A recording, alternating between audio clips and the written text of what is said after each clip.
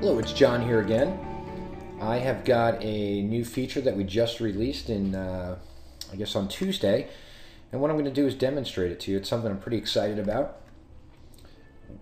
What you'll notice um, new with Virtual Property Architect is this little uh, indicator here. And as I scroll around or orbit around, it's showing me where north is at any time. Now you'll also notice in all the, when you open a new design, we have this north symbol indicator.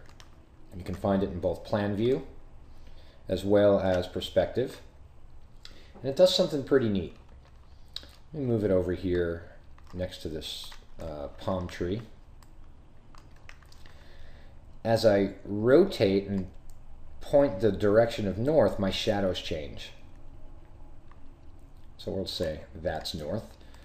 Um, another way that I can access this is by simply clicking on, let's, let's grab our, this palm tree here, click on this uh, indicator. I can rotate this way as well. When I'm done, I simply click here. Now, why is this important? Because in addition to uh, the accurate position of the property location, so what I'm going to do is plug in a zip code I'm going to grab the latitude and longitude for the property, set my north direction, and we've got something else new that really makes this feature come to life. Well, we've always had time of day. Now we have seasons.